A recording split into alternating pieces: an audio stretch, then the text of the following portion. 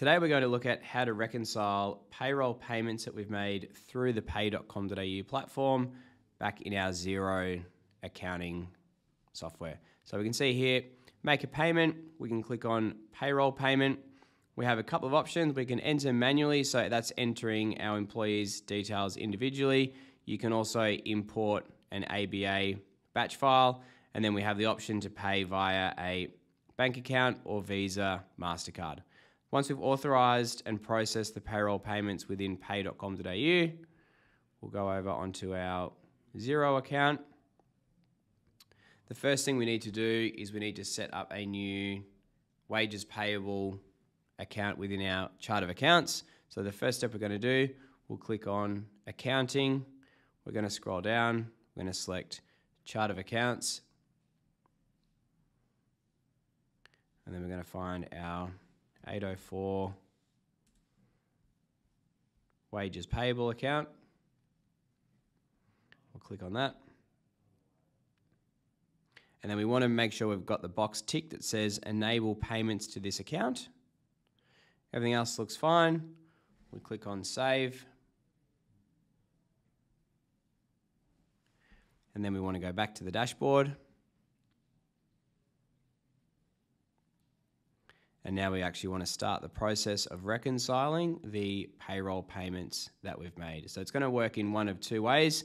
If we have made those payroll payments using an ABA batch file from our bank account, those payments will come out as a grouped transaction and then we reconcile them against the batch payment in Xero.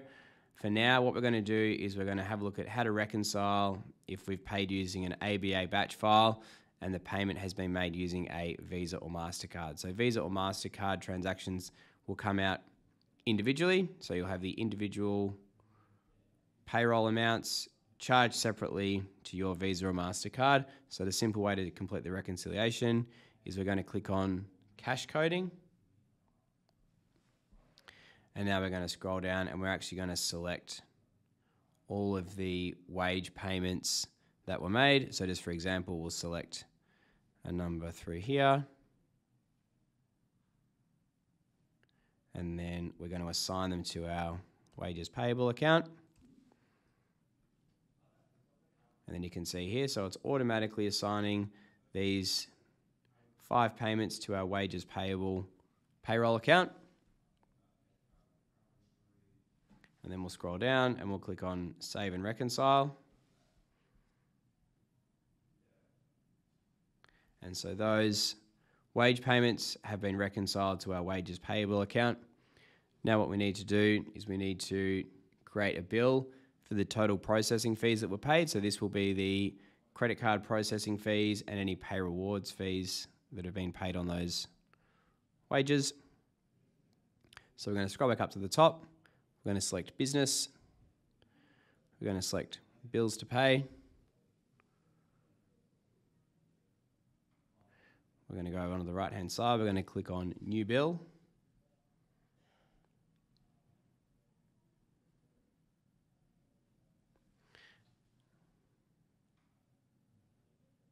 And what we're going to do here is we're going to actually enter the value of the payroll payment in the quantity. So let's say our wages that we've just paid was $6,000. And let's say, for example, it was a payment from a Visa card with a processing fee of 1%. So we're going to enter 0.01 in the quantity.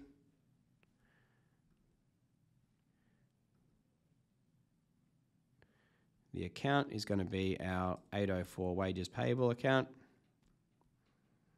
The tax rate is going to be GST on expenses. And then we make sure the amounts we're selecting is tax exclusive. And then in the description, we can enter processing fee. We'll have today's date because that's the date that the payments were made. And then in our reference, we'll have fortnightly pay run with today's date. And in the from, it's going to be pay AU. Then we scroll down to the bottom.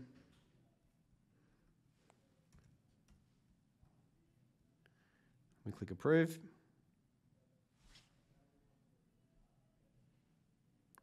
And then you can see there. So the wage payments have been reconciled, and then we've created a bill for the associated processing fees, and that ha- has been assigned to our 804 wages payable account. What we're going to do now is we're going to scroll down, and we can see here. So this is the amount that's been paid in processing fees.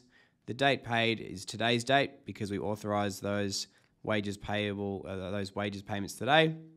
We can see we've got it's been paid from, and we've got our wages payable account. We click on add payment.